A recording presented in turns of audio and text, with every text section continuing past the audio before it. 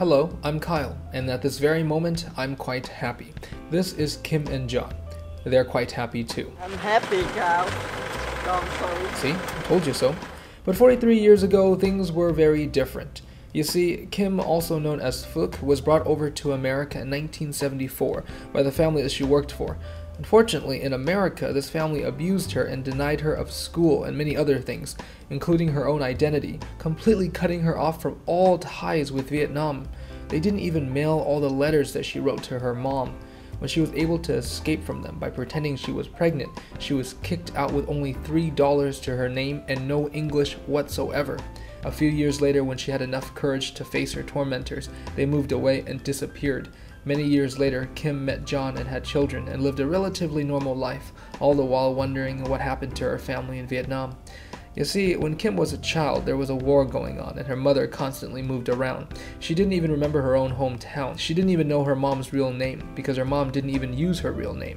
And plus, in Vietnamese culture, official names are seldom used. Everyone knows each other by a nickname or a family name.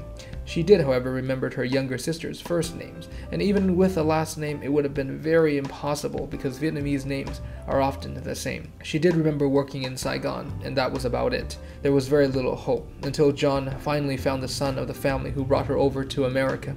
He remembered some paperwork with her name on it, and without his mother's knowledge, sent Jon Kim's ID. And on that ID, there was an address in Saigon. And this is where I come into the story. Ready? Let's roll.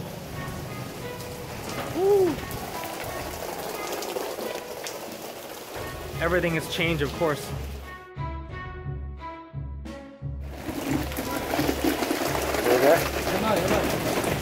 Of course, after the fall of Saigon, many things changed, including the homeowners. We were hoping that someone would remember certain names, like her sister's name, or the people who she used to work for. We just knocked on the doors and recited names. One name was familiar to this woman here, and she led us to a couple, the only couple who lived there before 1975 and still remained in the alley. Their nephew knows the daughter of the woman named Hòa, whose Kim's younger sister Thành used to work for. They gave me his number, but it didn't work, so we tried their home phone, and I didn't know how to use it. Eventually it worked, and I was given another number and made a call. Thì về sau giải phóng mà chị Thành về quê Tại vì lúc đó em còn bé Dạ đúng rồi, đúng rồi, đúng rồi. Mẹ em, nhưng mà mẹ em có liên hệ sau giải phóng 2-3 năm gì đó Ờ, ok, ok. Có vô Sài Gòn một lần Vậy thì anh cứ gọi mẹ em đi Ok. Có thể kiếm ra được gì đó Ok, cảm ơn Mà em anh nha. ở Cali, anh ở bên Mỹ hay ở Cali hay ở đâu Ủa sao, sao anh biết hay vậy? Nghe cái tiếng Ờ, nghe cái tiếng, nghe cái giọng Kali đúng không?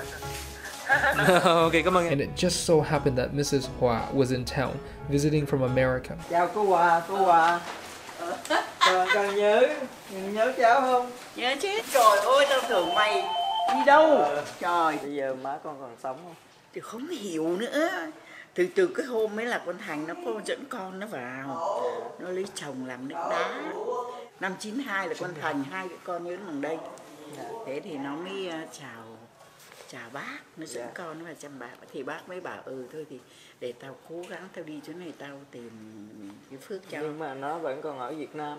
không hiểu bây giờ thì bây giờ thì thế này ngày mai Dạ. đi ra Long Hải mày tìm ngay đến cái gọi là cái trạm y tế Ok, trạm y tế. trạm y tế Long Hải mày hỏi cái cô cô Thành lấy chồng làm hãng nước đá Dạ. Dạ.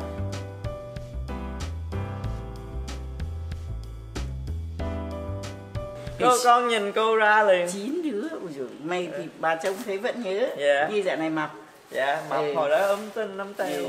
Wow. Con vui quá, tại lúc con về con không biết là có tìm được hay không. Early morning, we made our way to Long Hai, a coastal town not too far from Saigon. With new highways, the journey there without traffic could be done in as little as an hour and a half. How do you feel uh, this morning though? Me, Yeah. uh, excited and nervous. Yeah. Yeah.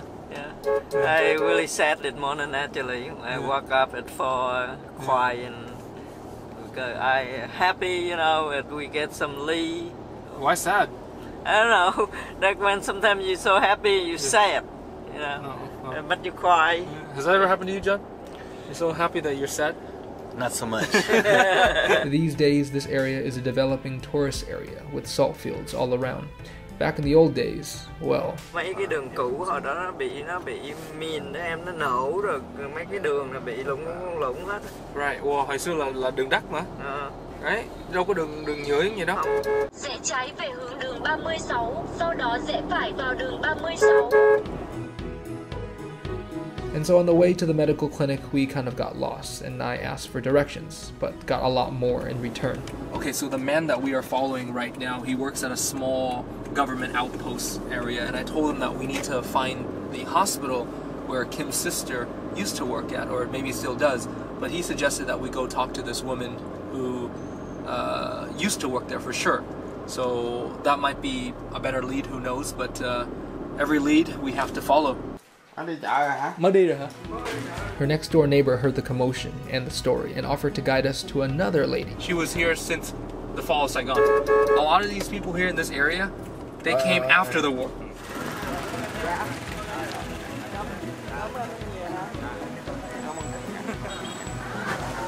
có người chị đó thấy không phải cô Thảo đó có một chị đó không cô Lập Lắp. em hả Rồi đúng rồi. Đúng rồi là đúng rồi, đúng rồi, đúng rồi, đúng rồi, đúng rồi. cô Lập And at this moment, I knew we found them. Don't lose them, don't lose them, don't mắc mắc lên lên. Oh, come on. Come on, get out of the way. oh, your life is gonna change Yes. one way or the other, you know. yes. Oh, here we go, here we go, here we go, here we go. But I'm shaking right now Ủa mốt vậy mất Oh, wait, where'd they go? Em đi nhanh Where'd they go? Where'd they go? Ủa mốt vậy mất tiêu rồi Cool, where you? But did he turn in here though? For sure? I wasn't looking. Chạy mất tiêu vậy Vô là dâu theo nữa, nhà nó bán rồi, vô là Okay, they, so she okay, so she sold the house here, and now we gotta keep going.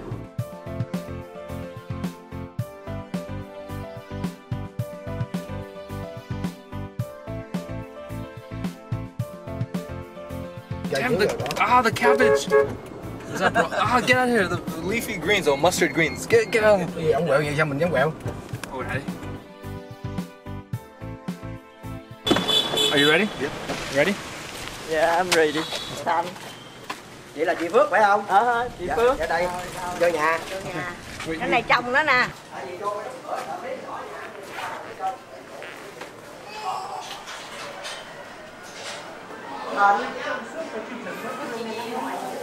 Em em là Thành hả? Chị là Phước.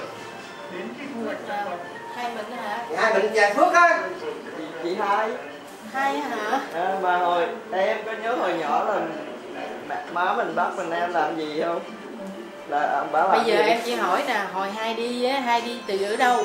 Sài Gòn Nhà ở nhà ai? Di Đồng Rồi đúng rồi. em có biết bác quà không có biết bác quà không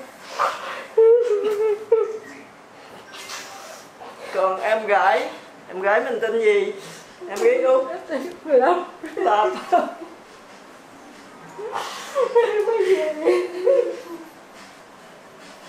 còn mẹ mình sao?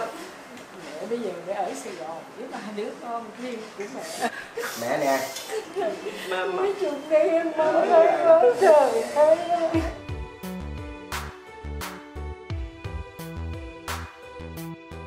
ba hả? Không ba chết lâu. Chết năm 68 lận. Nhưng đâu có tìm được sáng. Nhưng That's my father they they never fun he he body And after 43 years, two sisters reunited with lots to talk about. And don't forget about the brother in law. He's a good guy too. I love her so much Anh anh anh thương chị rất nhiều. Yeah. Jon seemed pretty happy. He put a lot of effort into this, a lot of effort into eating chicken feet too. His favorite food, by the way. And every Vietnamese 43 year reunion special needs a lot more food. And there was another important matter. mà em có điện thoại của mẹ không Finding Thành was the key to finding Kim's mom, and so with heavy hearts we hurried back to Saigon as the sun was rapidly setting, and Kim was about to meet some of her half sisters for the first time.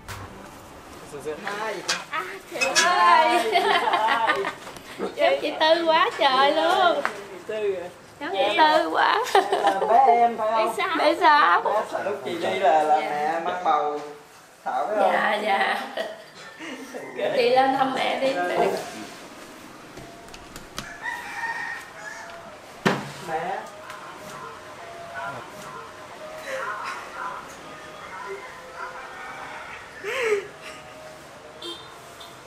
Kim's mother suffered a stroke and has been bedridden for over six years. Doctors initially gave her only a few months to live. Mẹ biết ai không? Chị hai là mẹ.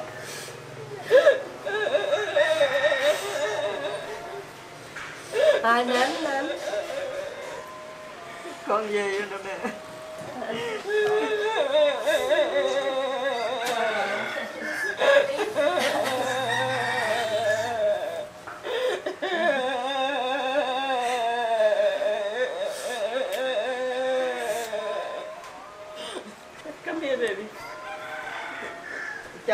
Chồng con Jon Chồng của con là người giúp con tìm lại mẹ Lại Cao Chồng con với lại cậu Cao giúp giúp tìm lại mẹ với lại em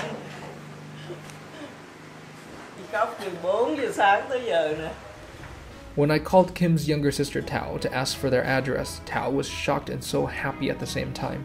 She couldn't believe it. Her life was at its typical routine and a phone call from a strange voice. My strange voice, this one here. And suddenly, a few hours later, a mysterious figure just walked in through the doors. And suddenly, now you have an older sister, the same one you've heard about all throughout your life. Just take a moment to imagine that for me.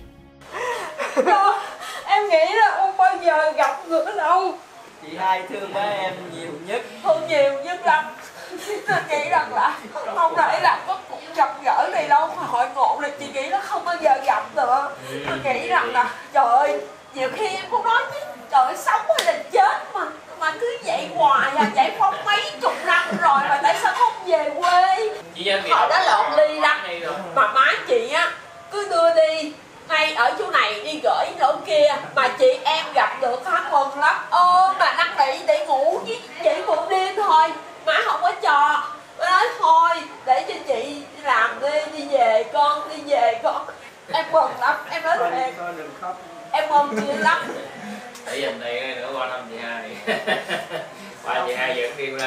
đánh bài One moment to not having any family at all, to having it all, and to even share a meal with them. And one family led and spread to more family cousins, aunts, distant cousins, cousins' kids, cousins' aunts' kids, aunts' uncles, uncles' aunts, and it was like winter suddenly passed and spring was in full bloom.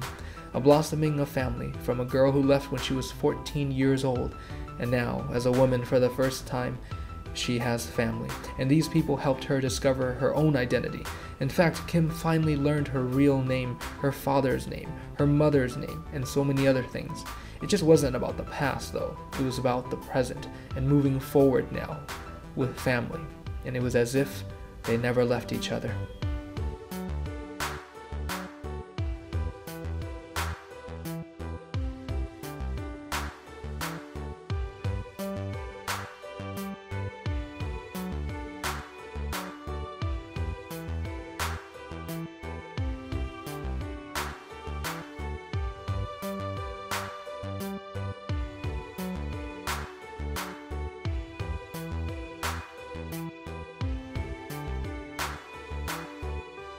We will see you later. à ah. Very good. à dạ dạ thank you. Vàng chúc ngủ ngon chúc ngủ ngon good night. Good night.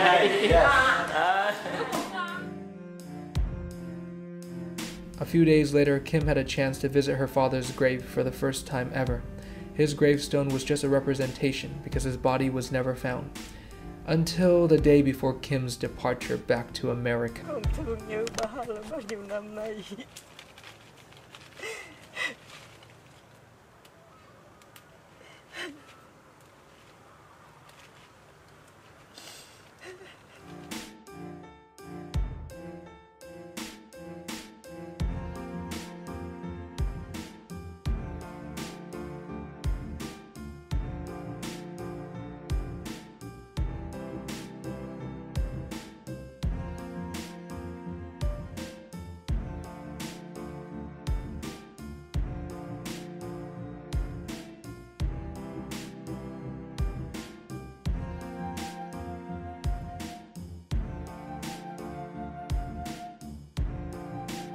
It's quite hard to believe, I know, but just a couple days after Kim's visit to the cemetery, Kim's brother in law called me to tell her that her father's remains have been found.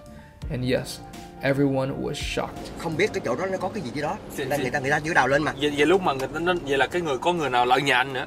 Đó đó đúng lợn rồi. nhà nó là tìm được. Tìm được như như vậy là chắc em nghĩ là chắc cái đám này là mấy cái ông này mấy ông đã chôn hồi xưa. à, Thì ông mới biết đích xác cái chỗ đó là ba mình. ừ. Thì ông mới báo mình được. Rồi mà ông chờ 50 năm sau mà ông mới Đúng báo. rồi. Ông chờ năm sau mới báo.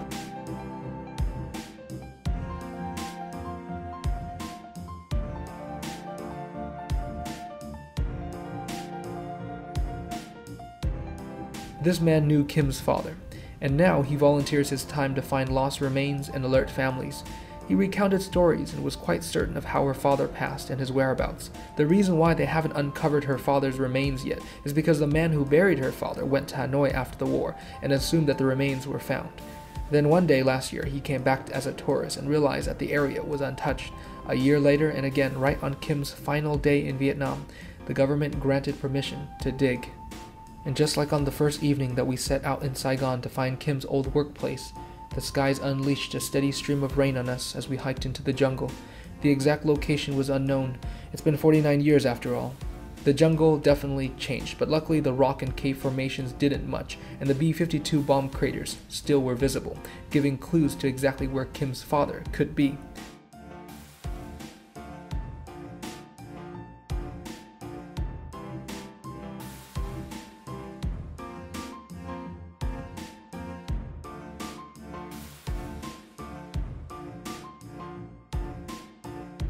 So right now, I I don't know what to think. I'm so overwhelmed. I don't know what to think right now. Rất hope.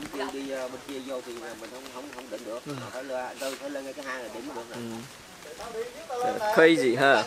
Crazy audit here. I mean the past few days. Yeah. It's only the past few days really. Yeah.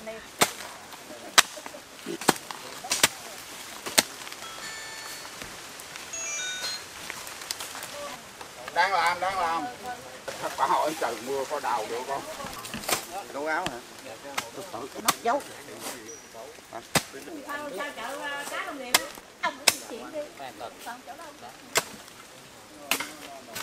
Thương con mà. I don't think I can have this day. So like that I'm dreaming at uh, the fun, you know.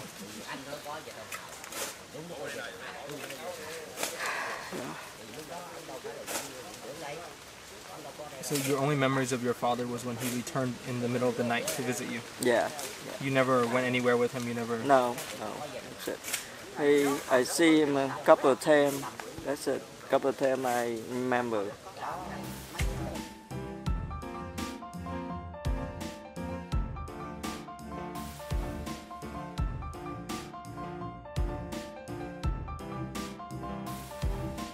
Cái giải này à, giải này dân quần nè. By the fourth hour, the first bones were uncovered. Xương kìa, xương kìa. trời đất ơi cái xương hả? Xương này nhốt. Xương này. Trời Xương. Nó, nó, Bắt được hả Đây, đây, nhỏ này to. Kìa. Bắt đầu phát hiện à, lấy xương cốt rồi. Ờ chưa đang đào đây mà lấy gặp xương mừng thấy bà ăn cơm đâu ăn Of course, this man was happy.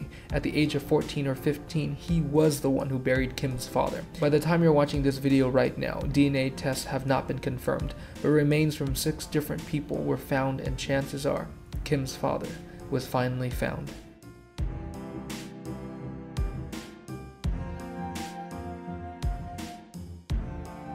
This time, ten days ago, you had no family. No family, that's me.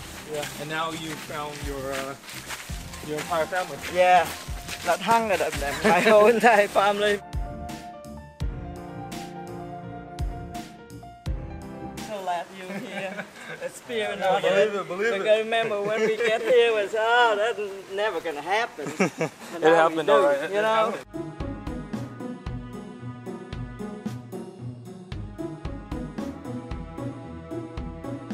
Before leaving Vietnam, Kim and Jon bought English books and donated whiteboards and chairs and tables to a girls' orphanage. They were studying on the ground before. Now they don't have to anymore.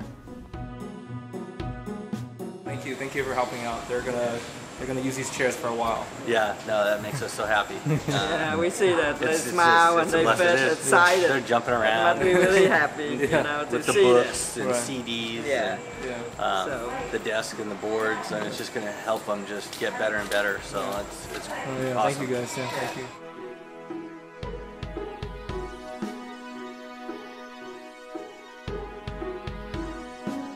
Qua đây. This is a video. Video. Okay. I'm okay. Được chưa, được chưa? I'm gonna video. Family moments like these, and family moments like these, Tìm được mẹ rồi nè. tìm được rồi cô khỏi ngộ này là có sự thật chứ không bao giờ trong mơ uh, I'm so happy. Come on, look. Yeah, I know you are. I. I'm happy for you. Look over here. I'm happy for you. And souls at ease, shoulders not so heavy anymore, minds at peace enough to stroll on a beach like this. And all of these things were only possible because of the kindness and help from familiar faces, some unseen in this video, and many others seen. Some of these strangers went out of their way, and this reunion could not have been possible without their efforts and their goodwill. Everyone contributed. Everyone was a part of this journey. Everyone was a part of it. Thank you. Thank you so much. And of course, major kudos to Jon and his sleepless nights of research, preparations, and encouragement, and for loving and supporting Kim and being her only family. Until now. The Vietnam of today is a lot different than the Vietnam of the past. Despite a war, despite an ocean, and despite zero contact, 43 years, one thing never changed family. Thank you for watching.